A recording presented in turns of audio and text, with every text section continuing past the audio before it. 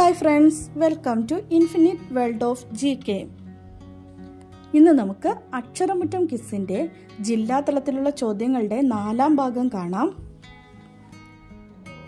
അന്താരാഷ്ട്ര ഏകദിന ക്രിക്കറ്റിൽ അൻപത് സെഞ്ചുറി നേടിയ ആദ്യ താരം വിരാട് കോഹ്ലി.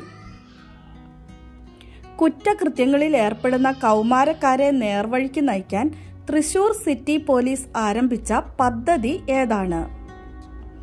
റീച്ച്. ഇന്ത്യയിലെ ആദ്യ വയോജന സൗഹൃദ നഗരമാകാൻ ഒരുങ്ങുന്നത്. കോഴിക്കോട്. കേരളത്തിലെ ഒന്നാമത്തെ ബാങ്കായി കേരള ബാങ്ക് മാറുക എന്ന ലക്ഷ്യം അതിവേഗം കൈവരിക്കുന്നതിന് ഏഴു മേഖലയുടെ വളർച്ച ലക്ഷ്യമാക്കിയുള്ള പദ്ധതി. മിഷൻ റെയിൻബോ രണ്ടായിരത്തി ഇരുപത്തിനാല് ഇന്ത്യയിലെ ഏറ്റവും വലിയ ഉത്സവമായ സമാക്ക സരളമ്മ ജാത്ര ആഘോഷിക്കുന്ന സംസ്ഥാനം തെലങ്കാന.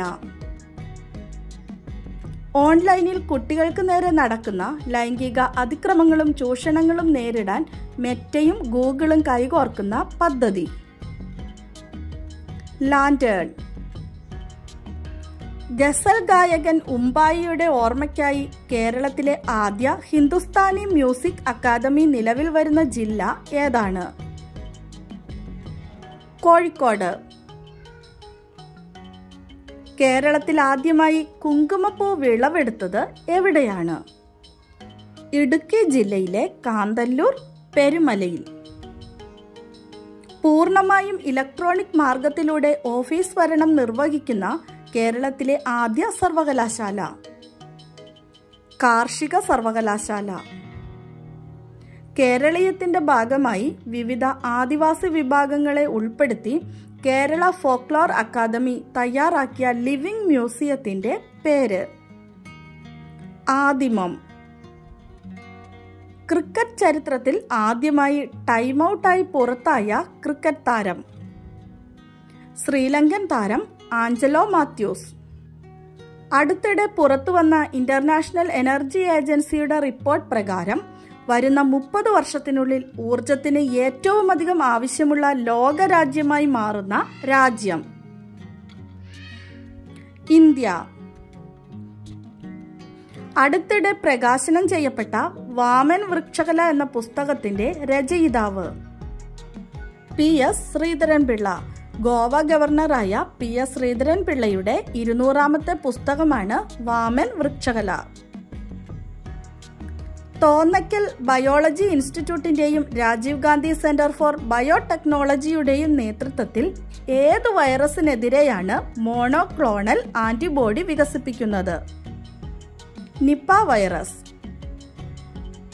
രണ്ടായിരത്തി ഇരുപത്തി മൂന്ന് നവംബറിൽ ഭൂകമ്പമുണ്ടായ ഇന്ത്യയുടെ അയൽ രാജ്യം. നേപ്പാൾ. രണ്ടായിരത്തി ഇരുപത്തിരണ്ടിലെ സംസ്ഥാനത്തെ മികച്ച പോലീസ് സ്റ്റേഷനുള്ള ചീഫ് മിനിസ്റ്റേഴ്സ് ട്രോഫി നേടിയത് Perinthalmanna police station.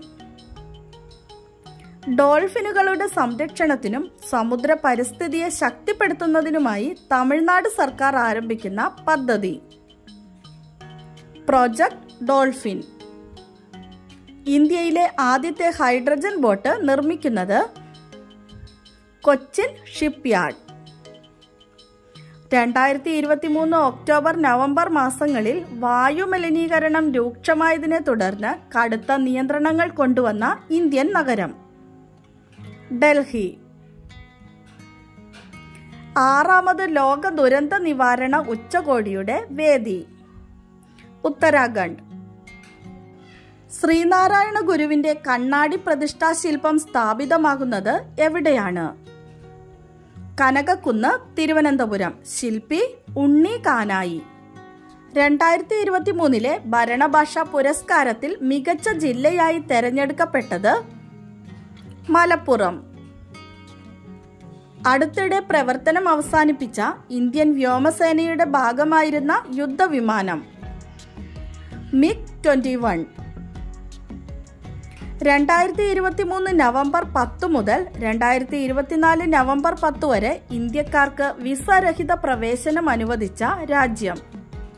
Thailand American കമ്പനിയായ ഹാർപ്പർ കോളിൻസ് നിഘണ്ടു രണ്ടായിരത്തി ഇരുപത്തി മൂന്നിലെ വാക്കായി തിരഞ്ഞെടുത്ത വാക്ക്. A I. നമ്മുടെ കഴിഞ്ഞ ദിവസത്തെ ബോണസ് ക്വസ്റ്റ്യൻ ഇതായിരുന്നു. കേരളത്തിൽ ആദ്യമായി അരിവാൾ രോഗ നിർമാർജന പദ്ധതിക്ക് പ്രധാനമന്ത്രി തുടക്കം കുറിച്ചത് ഏത് ജില്ലയിലാണ്? സിക്കിൾ സെൽ അനീമിയ നിർമാർജന പദ്ധതിക്ക് പ്രധാനമന്ത്രി തുടക്കം കുറിച്ചത് ഏത് ജില്ലയിലാണ്? ആൻസർ വയനാട്. കറക്റ്റായി ആൻസർ പറഞ്ഞ എല്ലാവരുടെയും പേരുകൾ ഞാനിവിടെ ചേർത്ത് കൊടുക്കുന്നുണ്ട്. വീഡിയോ ഞാൻ നേരത്തെ എടുത്തു വെച്ചതുകൊണ്ടാണ് പേരുകൾ വായിക്കാത്തത്. അപ്പോൾ നിങ്ങൾക്ക് ഒരു ദിവസത്തെ വീഡിയോ മിസ്സായി പോകണ്ടെന്ന് വിചാരിച്ചിട്ട് ഞാൻ ഇന്ന് വീഡിയോ അപ്ലോഡ് ചെയ്യുകയാണ്. അല്പം തിരക്കുള്ളത് കൊണ്ടാണ് ഞാൻ പേരൊന്നും വായിക്കാത്തത്. അപ്പോൾ എല്ലാവരും ഒന്ന് ക്ഷമിക്കുക. വീഡിയോ കണ്ട് തുടർന്ന് സപ്പോർട്ട് ചെയ്യണമെന്ന് ഞാൻ ഓർമ്മിപ്പിക്കുന്നു.